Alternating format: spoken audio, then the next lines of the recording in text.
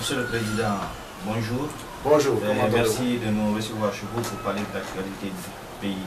Première question, d'abord, comment se porte le Goa Euh, Le Goa se porte en merveille. Alors, euh, qu'est-ce que vous avez actuellement comme activité au niveau du Goa? Qu'est-ce que vous avez prévu? Actuellement, on est en train de réactualiser toutes les sections et sous-sections du Goa, à l'intérieur comme à l'extérieur de la Guinée. Le travail est énorme. Nous avons fait le tour euh, du pays et puis nous avons fait plusieurs villes à l'extérieur de la Guinée pour vraiment ce travail-là. Et je pense que ça se passe excellemment bien. L'ensemble des opérateurs économiques de tous les secteurs de se constituer toujours en section et sous-section de notre organisation à travers le monde, puisque désormais, le droit est international. Alors, euh, au lendemain de la crise du pouvoir par le CNRD, vous avez promis, vous allez vous battre euh, pour la baisse du prix du- euh, des prix sur le marché. Cependant, les Guinéens continuent à se plaindre de la cherté. Est-ce que ça veut dire que vous n'êtes pas écouté? Non, non, non, non, non. Nous sommes écoutés, vu le contexte actuellement euh, au niveau international, après le- la Covid euh, qui a frappé tous les pays, et tous les pays étaient presque fermés, le monde entier était fermé à cause du Covid. Et nous, en Guinée, c'est un cas particulier parce qu'il y a eu trop de problèmes. La grande lutte contre le troisième mandat, dont nous avons participé activement, et aussi euh, l'arrivée des militaires au, au pouvoir et ensuite, euh, comme vous savez, il y a eu le déclenchement de la guerre en Ukraine. Vous savez, beaucoup de produits viennent de ces pays-là. Et ça, ça a créé une, euh, une autre tension au niveau international. Ça a perturbé le marché mondial au niveau du carburant, au niveau des prix des denrées de première nécessité. Donc la Guinée ne peut pas euh, échapper à tout ça. Voilà, c'est ce qui justifie un peu l'appel que nous avons lancé. Je pense que ça a été entendu comme ça, ça l'a été toujours. Et nous cherchons toujours des solutions. C'est pourquoi euh, nous sommes actuellement ici, voir dans quelle mesure on peut faire d'autres relances avec euh, de nouvelles visages des opérateurs économiques étrangers, mais aussi des opérateurs économiques ressortissants guinéens qui ont toujours sollicité à revenir dans le pays euh, si la sécurité est nette pour eux et que les nouvelles autorités arrivent à les rassurer par rapport à leur sécurité, par rapport aussi à la facilitation des, des transactions qu'ils voudraient envisager éventuellement. En tout cas, si les portes ne sont pas fermées, je pense qu'on peut trouver des solutions. Donc, euh, c'est c'est un mauvais procès qu'on fait aux opérateurs économiques. On accuse de fixer de manière fantaisiste le prix. Je pense que ça, c'est des mensonges, c'est des mauvaises personnes qui cherchent à gâter les images des opérateurs économiques dans ce cadre-là. Parce que ce qu'on vend en Guinée, vous savez, nous sommes un pays d'importateurs de tout ce que nous consommons, malheureusement. Nous avons encouragé les opérateurs économiques guinéens à se lancer dans l'agriculture sérieusement. Et lorsqu'ils se sont lancés dans l'agriculture, tout le monde le sait, leurs plantations ont été attaquées dans la zone de Forêt-Caria et d'Oblica ici et dans plusieurs endroits du pays. Donc euh, les autorités n'ont pas prêté attention à ça. Nous avons lancé des appels, nous avons écrit à plusieurs reprises euh, aux autorités et vu euh, ces problèmes de sécurité où les opérateurs économiques sont exposés, ça, ça a découragé beaucoup qui voulaient investir dans l'agriculture. Et tant que nous ne sommes pas lancés dans l'agriculture, tant qu'on n'a pas l'autosuffisance alimentaire, il ne faut pas espérer grand-chose. Donc ça, c'est le rôle des responsables de l'État de protéger les opérateurs économiques et de donner des facilités et les sécuriser, les rassurer pour que ces opérateurs économiques-là se lancent. Nous pensons que les choses vont s'améliorer. En tout cas, on est en train d'observer, on est en train d'attirer leur attention. Je pense que ça sera le cas. Alors, euh, vous l'avez rappelé, le monde est secoué par cette guerre en Ukraine. Est-ce que vous êtes en contact avec les autorités pour un peu pallier les difficultés Euh, J'avoue que depuis euh, quelque temps, nous ne sommes pas en contact. Je ne sais pas pour quelle raison, en tout cas, ce n'est pas de notre côté.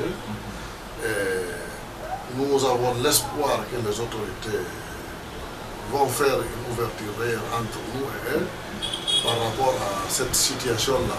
La réalité du terrain est la réalité du terrain.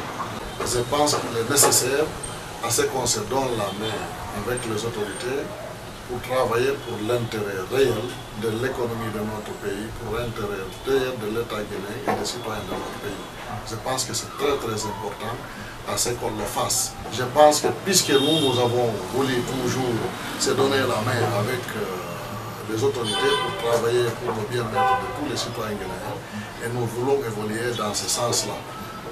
Mais si on nous ferme les portes, on n'a pas d'autre choix que de rester observer.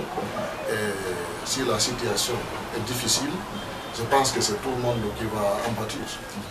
Alors, vous êtes, il faut le rappeler, vous êtes activement investi dans le combat contre le troisième mandat d'Alpha Condé au sein du FNDC.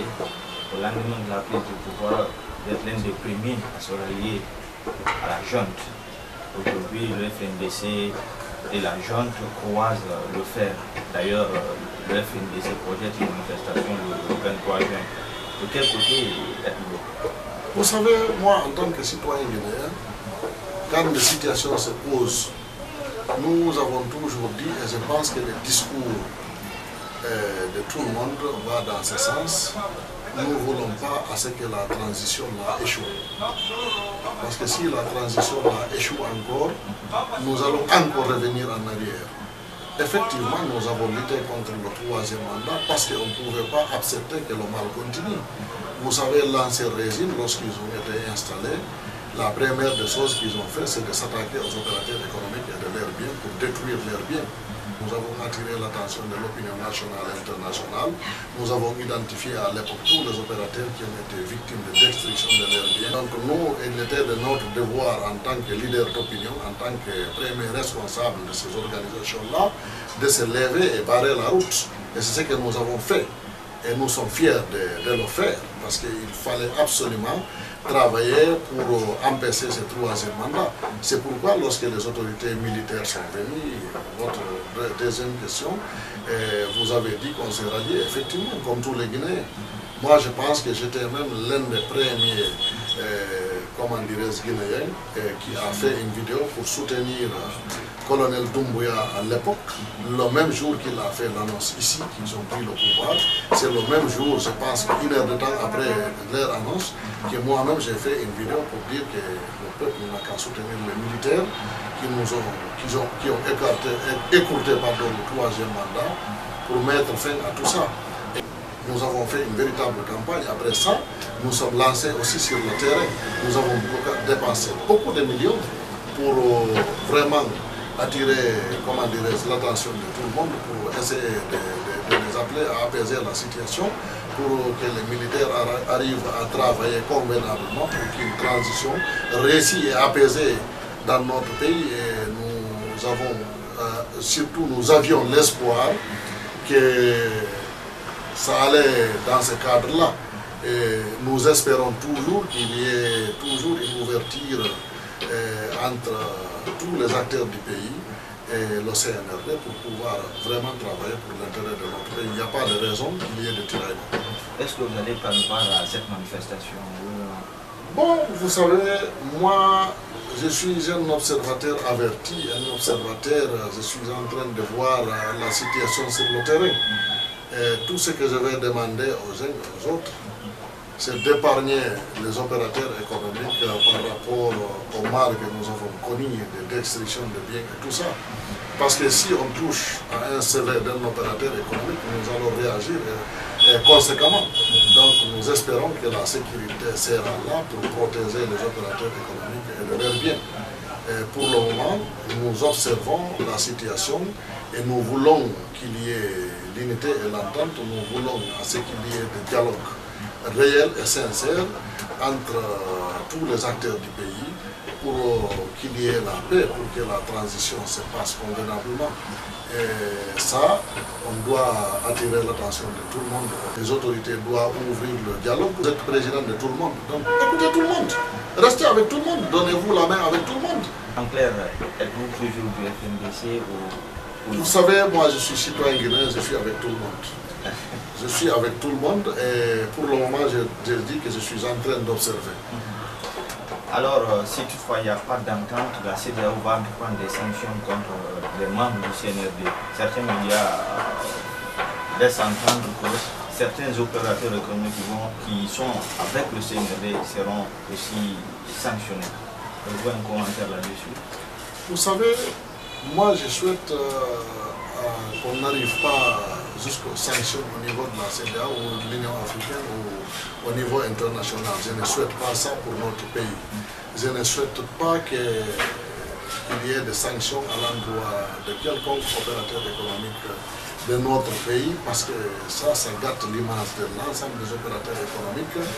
Et nous voulons à que tout le monde ait de liberté de travailler au sein de notre République de la Guinée, au sein de la CDAO, mais aussi au niveau international pour que l'image des personnes ne, ne soit gâtée. Nous espérons qu'il y aura des solutions pour éviter à ce qu'il y ait des sanctions. Je suis seulement un peu étonné parce que je vois que les autorités ne nous contactent pas pour pouvoir discuter avec eux sincèrement pour euh, l'intérêt de ces opérateurs économiques-là, pour l'intérêt de notre pays. Ça, je suis quand même un peu étonné par rapport à ça même. Vous avez rappelé ce qu'a subi les opérateurs économiques durant tout le régime d'Alpha. Avec l'arrivée du CNRD au pouvoir, est-ce que vous avez tenté de réchauffer les dossiers pour la justice pour ces opérateurs... Bon, bon, nous avons écrit aux autorités le rapport qu'on a déposé. On a demandé à ce que les opérateurs économiques euh, soient indemnisés. Nous, on a pu recenser des milliers d'opérateurs économiques, mais au niveau de l'arrestation, on n'a jamais entendu que quelqu'un a été arrêté parce qu'il a détruit les biens des opérateurs économiques. C'est très décevant. Je pense que les choses vont s'améliorer au fil, au fil du temps. Cheikh Abdallah, nous arrivons au terme de cette interview. Quel message avez-vous à l'endroit des citoyens Le message que j'ai à l'endroit des citoyens c'est toujours ce que nous avons toujours dit. Nous, on est en train toujours de travailler dans notre pays pour éviter à ce qu'il y ait des divisions ethniques dans nos pays. C'est très important à ce que les, les- les citoyens de la Guinée se donnent la main. Ce pays, nous sommes condamnés à vivre ensemble. Monsieur Sharif, merci d'avoir répondu. À moi de vous remercier.